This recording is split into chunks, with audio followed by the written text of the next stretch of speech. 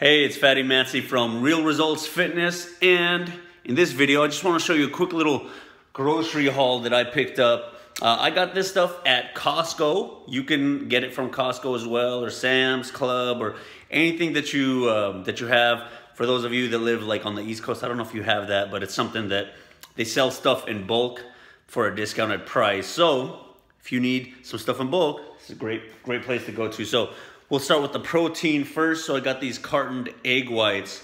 Um, see if I can show you a picture. So it's carton egg whites. Uh, this is for when I don't feel like cracking eggs or egg whites in the morning. I could just cook that up, throw a little bit of uh, cheese on there, maybe some vegetables, and get myself a good omelet and um, minimal prep time. So that's the first protein source. I didn't get too many today because I have some already.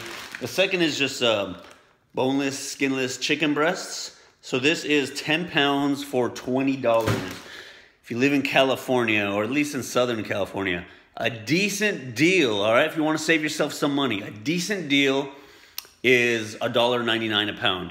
All right, so if you're spending like $3, $4 per pound of chicken, you're probably just spending way too much or you're getting organic or whatever. Um, you guys know I'm not really big on that, but uh, so boneless, skinless chicken breasts for 10 pounds. Got it for about $1.99 a pound.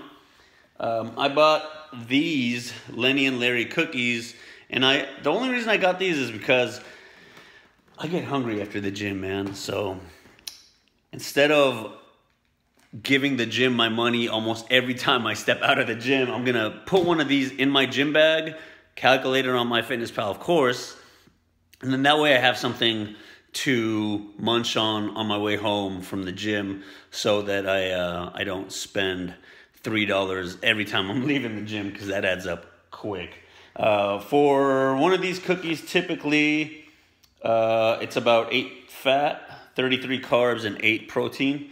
Um, so not bad. That's for the chocolate one. For the peanut butter one, it's 11 fat, 29 carbs, eight protein. So this is like a dual pack. That was kind of cool. Never seen that before.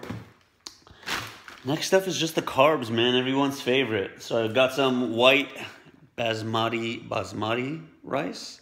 Um, I really like the jasmine rice. I, I had that right before this, but it's dangerous. I could eat rice. I could eat a lot of rice. Um, so the basmati, this is like microwavable rice. You know, it's those pouches that you just kind of crush and microwave. So saved me some time right there.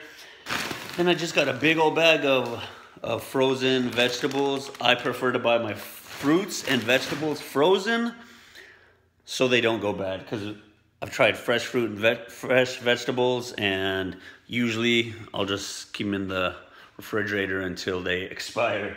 Um, the next thing I got and uh, what I do with this is I make that sludge, that protein sludge. I'll make a separate video, but if you're part of the Real Results Fitness Plan, you know you already know what it is. Um, but I like to mix different fruits and uh, different fruits with it. So usually I'll stick with like blueberries if I just want to go really high volume and really low carbs. Um, but your boy loves mangoes and pineapple. So this this little blend, I used to get this before, but it's peaches, mango, strawberries, and pineapple. And per one cup, it's 16 carbs, one protein. And I, try, and I got this. This is something a little bit new, but that's just because I wanted to try that dragon fruit. I think I've had dragon fruit once in my life. I can't remember. I think a client gave me some.